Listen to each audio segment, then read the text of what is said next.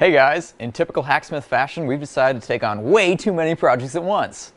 So let me be the first to introduce you to our latest project. We are building an electric Batman tumbler. What's that?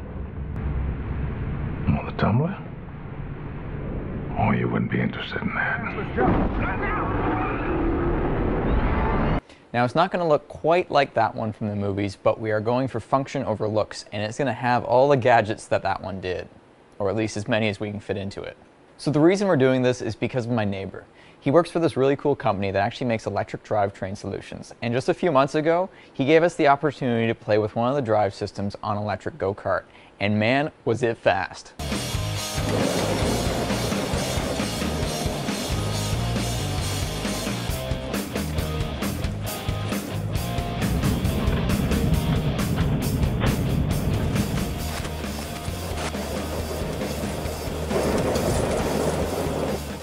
In case you're wondering how we got so much power out of this little go-kart, it's all because of this little electric power pack. Now the electric drivetrain is awesome. Unfortunately, the go-kart chassis was pretty crappy. The shocks barely worked, it turned more in one direction than the other, and it had a whole bunch of other problems.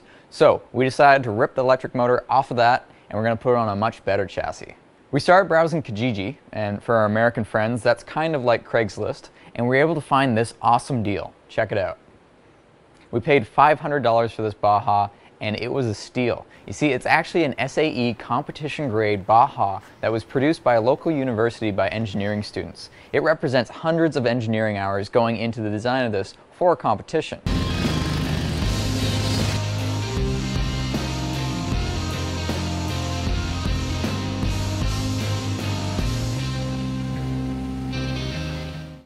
Now, the way SAE competitions work is basically after one or two years you have to retire the frame, which means you either have to scrap it or sometimes a student gets to buy it to take it home and do a project with it that way. And that's exactly what happened with this one. One of the students who worked on this project bought it from the school, took it home, planned to get it running again, and it never happened. So he listed on Kijiji, and then we bought it. Now, as you know, we've been really busy with a whole bunch of projects lately and expanding the channel. Because what I do, while sometimes impractical, is turn fiction into reality.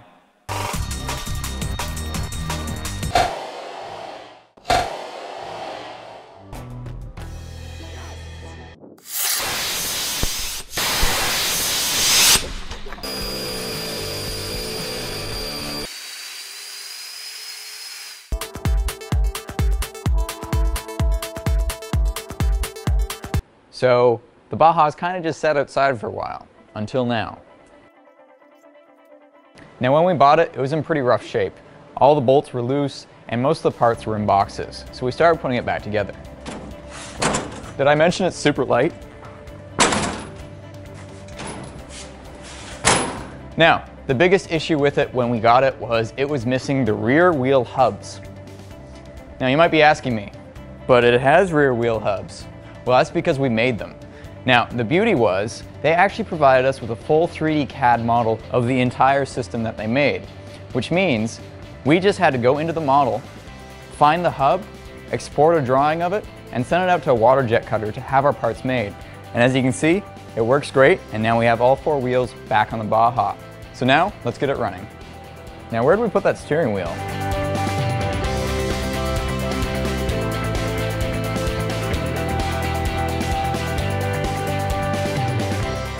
Let there be light.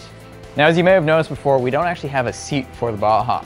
But that's okay, because we actually have a 1993 Honda Del Sol seat, which is actually kind of like a racing seat, which was from one of our original projects that we worked on before we went to engineering school. And that was converting a 93 Honda Del Sol to electric. You can check out that video here. Maybe. Keep going.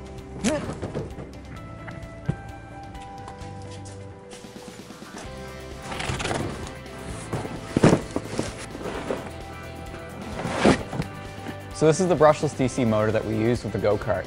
It's a 15 horsepower peak electric motor and it can provide up to 54 foot-pounds of torque, which is huge for something this small. We think it will perform pretty good in the Baja, but if it's not quite as fast as we were hoping, we're going to double it up and get a second one.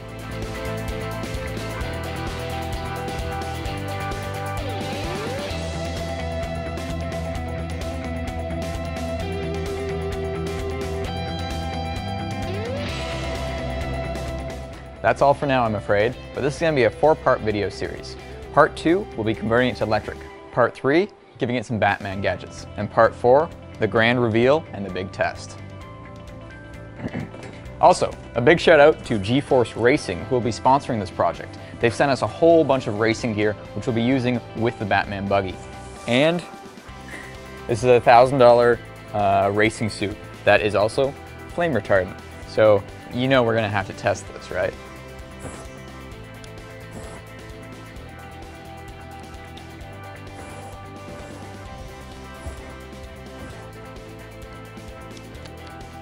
As always, don't forget to subscribe, like our videos, comment, and share with your friends. And if you want to see more behind the scenes content or be able to chat with us one-on-one -on -one in our private Discord chat room, consider becoming a Patreon on Patreon. Patreon? A patron on Patreon. It's only a dollar a month. That's less than a coffee.